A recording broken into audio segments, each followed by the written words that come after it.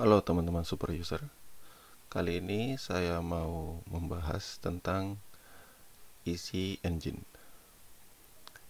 Isi engine ini adalah sebuah tool untuk memudahkan uh, instalasi LAMP stack atau LAMP server. Uh, di sini di judul websitenya isi engine, isi WordPress on Engine X. Dan ini targetnya untuk uh, WordPress menjalankan WordPress di atas web server Engine X. Jadi kalau kita install isi engine ini, semua yang dibutuhkan untuk WordPress sudah terinstall dalam satu uh, baris perintah. Ini instalasi uh, isi engine-nya. Coba kita lihat di sini fiturnya complete setup uh, WordPress, Nginx, PHP, MySQL, uh, Redis dan dependensinya lainnya. Kemudian uh, SSL pakai Let's Encrypt. WordPress-nya ada fitur cache. Kemudian isi update pakai command line. Kemudian uh, ini juga memanfaatkan Docker.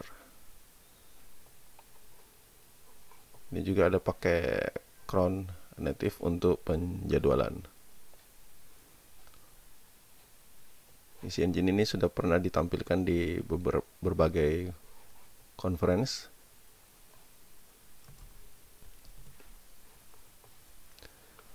Uh, ini World WordCamp Mumbai 2014 di konferensi Engine X. Ini WordCamp dan ini juga WordCamp. Oke, ini ada dokumentasi lengkapnya kalau mau baca uh, petunjuk pemakaiannya. Oke. Jadi langsung saja kita ke teknis instalasi. Di sini saya menggunakan Ubuntu 18.04 sesuai referensinya dokumentasi.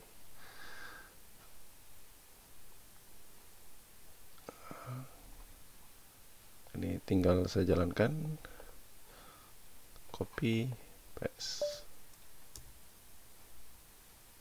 Ini akan ngedownload installer memeriksa dependensi dan menginstal semua dependensi.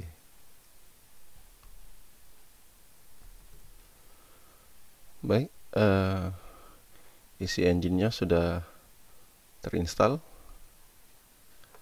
Membutuhkan waktu kira-kira 3 menit. Sekarang kita langsung ke instalasi WordPress.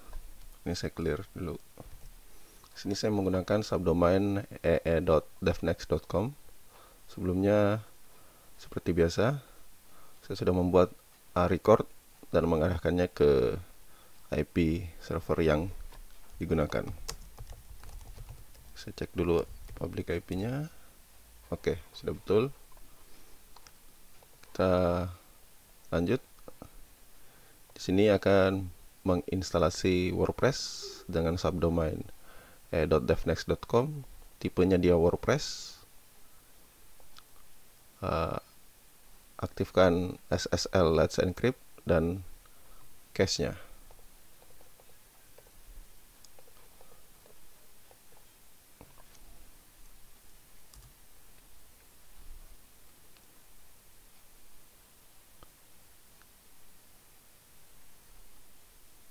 kita tunggu prosesnya berjalan. Oke ini sudah mulai set creation.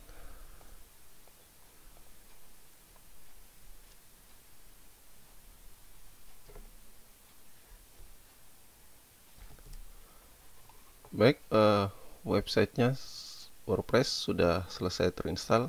Kita lihat dari atas tadi di sini. Oke. okay jadi akan mendownload uh, WordPress, menjalankan instalasi. Kemudian di sini kita masukkan alamat email, mulai menjalankan uh, eh, SSL, verifikasi, mengaktifkan cache, kalau sukses terakhir menampilkan informasinya. Oke. Uh, lokasi webnya file webnya tersimpan di sini. Folder penyimpanannya atau dokumen root. Uh, ini sudah terset username password database uh, email untuk administratornya. Semuanya langsung diaktifkan. Kita coba akses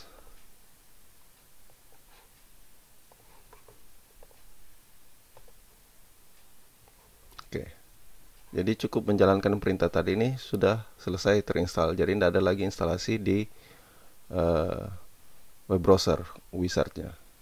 Memasukkan uh, konfigurasi database, uh, informasi websitenya, judul, administrator, user password tidak ada. Ini langsung di generate. Oke, kita masuk ke admin. Username password.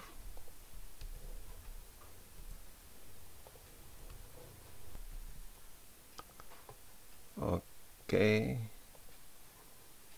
Ini berhasil login ke dashboard. Kita cek plugin.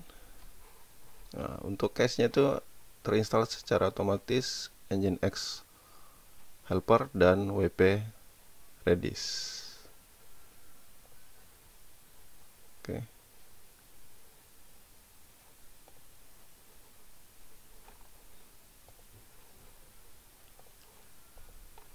Nah, itu cukup satu baris perintah tadi langsung terinstall. Waktunya kira-kira 2 sampai 3 menit untuk proses membuat websitenya. Jadi ini bisa sangat memudahkan bagi eh, teman-teman uh, yang ingin menggunakan WordPress di VPS tapi belum ada pengalaman skill untuk konfigurasi command line atau alternatif mau beli kontrol panel uh, lisensinya mahal tidak ada biaya atau yang gratis juga tidak begitu bagus mungkin uh, pengalamannya ini bisa dicoba. Jadi berbasis command line kalau pakai kontrol panel kan make resource lagi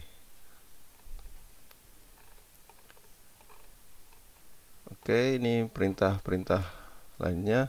Tadi ini untuk menampilkan infonya itu. Eh, eh, site info nama websitenya. Nama domain yang digunakan. Nah ini misalnya kalau kita lupa ya, kita bisa tampilkan ulang. Mau menampilkan semua website yang sudah di install. Nah, kita misal mau menghapus website. Bisa delete.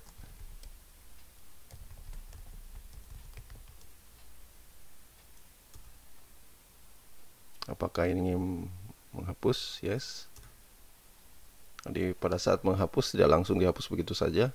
Uh, sertifikat SSL itu dibatalkan kembali. Kemudian ini uh, jadi website ini tersimpan di Docker container itu dihapus juga. Kemudian uh, konfigurasinya dihapus, menghapus SSL, menghapus database. Dengan begitu semua yang berkaitan dengan website ini sudah terhapus. Untuk petunjuk penggunaan eh, help nah, ini ada helpnya. Oke. Okay. kalau kesulitan yang membaca yang itu bisa di websitenya di komen. Nah, perintah yang saya gunakan tadi itu es hide oke ini subkomennya. Bikin website delete uh, bisa di disable, enable. Jadi tadi websitenya itu kita tidak mau hapus, tapi kita tidak mau aktifkan. Tidak bisa diakses itu kita mau uh, nonaktifkan pakai disable saja. Jadi datanya tetap ada tapi tidak bisa diakses karena di disable. Oke, uh, seperti itu uh, cara install WordPress di uh, Ubuntu 18.04 dengan menggunakan uh, Easy Engine. Sangat mudah. Instalasi Easy Engine Easy Engine-nya hanya satu baris. Instalasi proses tadi kira-kira berapa ya? 3 menit. Membuat website juga kira-kira seperti itu 3 menit. Uh, yang penting di awal tadi sudah dihubungkan uh, recordnya DNS record untuk mengarah ke VPS. Sekian, selamat mencoba.